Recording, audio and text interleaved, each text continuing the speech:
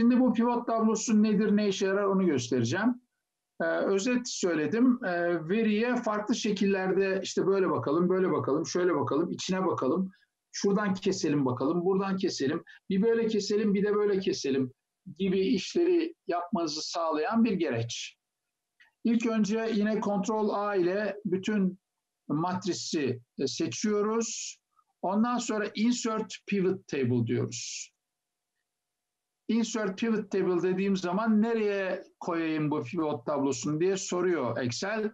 Yeni bir e, sayfaya da koydurtabilirsiniz. Ee, üzerinde çalıştığınız sayfanın altına da ekletebilirsiniz.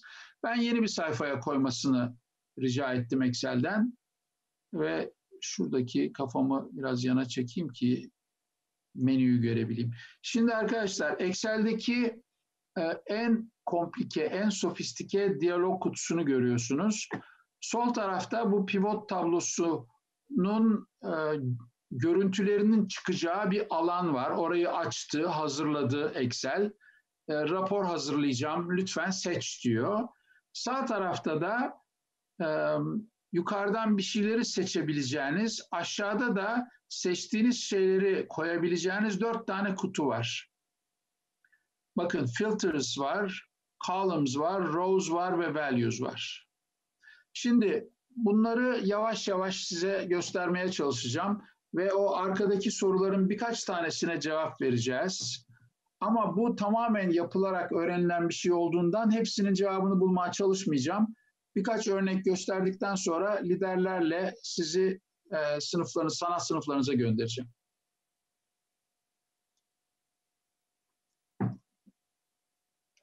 Cinsiyeti merak ettik değil mi? Arkadaşlar cinsiyeti şuradan alıyorum.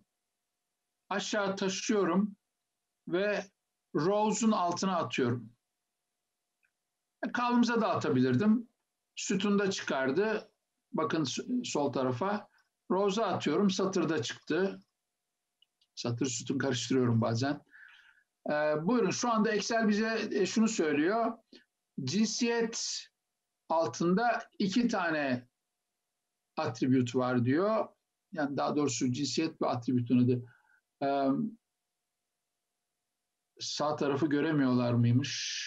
Ee, sağ tarafı göremiyorlar diye bir mesaj geldi bana. Sağ tarafı göremiyorsanız ben e, bu dosyayı biraz ufaltacağım arkadaşlar. Şöyle yapacağım sağ tarafı görebilin yayında diye.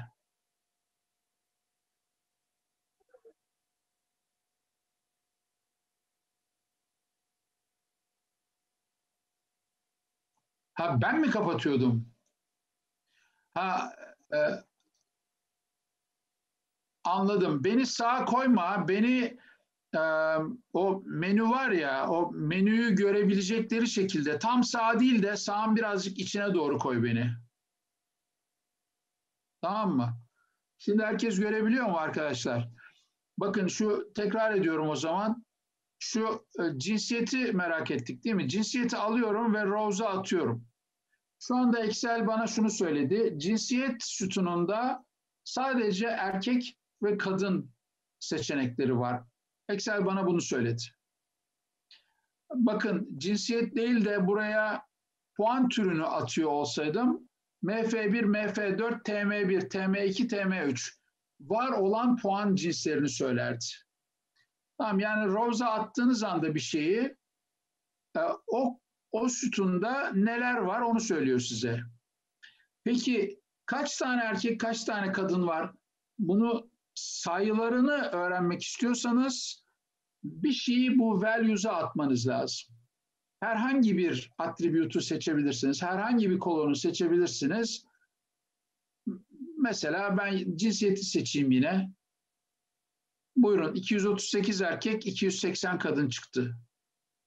Bunun önemli olmadığını şöyle göstermek istiyorum. İli seçiyorum şimdi. Yine 238'e 280 çıktı gördünüz mü?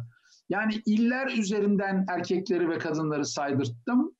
E tabi erkek kadın sayısı yine 238'e 280 çıktı. Ee, tekrar cinsiyeti geri atıyorum oraya. Ee, 238 erkek, 280 kadın çıktı gördüğünüz gibi. Şimdi devam edeyim arkadaşlar. Mesela bölümlere göre erkek kadın dağılımını merak ediyorsanız cinsiyeti kolona atabilirsiniz. Bölüm adını da rova atabilirsiniz. Şimdi buyurun bilgisayarda pardon şuradan ortalamaya çalışıyorum. Bilgisayarda 13 erkek, 17 kadın, ekonomide 14 erkek, 16 kadın, elektrikte 28 erkek, 2 kadın, endüstride 27 erkek, 21 kadın vesaire vesaire. Şimdi bu tablo neden önemli? Yani arkadaşlar idealde e, bir programda e, programın toplumun aynası olmasını isteriz, bekleriz. Yani e, cinsiyet açısından baktığınızda aşağı yukarı eşit sayıda erkek kadın olması makbuldür. burada farklı olanları görüyoruz. Erkek kadın oranlarının farklı olduğu bölümleri görüyoruz. ve görüyorsunuz ki bilgisayarda denge var, kadınlar daha fazla.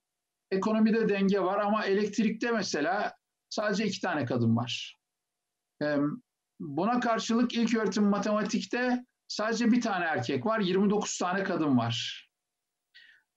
Yani bu bölümlerde cinsiyet dengesizliği e, en yüksek gördüğünüz gibi. İnşaatta e, bile diyeyim size genellikle inşaatta elektrikten daha az kadın olur. İnşaatta bile daha fazla kadın varmış o sene. E, gördüğünüz gibi mühendislik fakültesinde bir kadın eksikliği var. Makinede sadece beş kadın, inşaatta sadece üç kadın, elektrikte sadece iki kadın. Ama bilgisayar ve endüstri e, mühendislikteki kadın nüfusunu çok yükseltiyor. E, bu aslında ülkedeki kadınların tercihlerinin bir yansıması. E, her yıl bunun aşağı yukarı böyle olduğunu görüyoruz. Hatta şu anda endüstride kadın sayısı erkek sayısını geçti MEF'te. Bilgisayarda kadın sayısı çok sağlıklı. Ben bunu çok sağlıklı buluyorum. E, yani kadınların e, bilgisayardan korkması, çekinmesi bana çok yanlış geliyor. Kadınlar erkekler kadar iyi her şey olabilirler.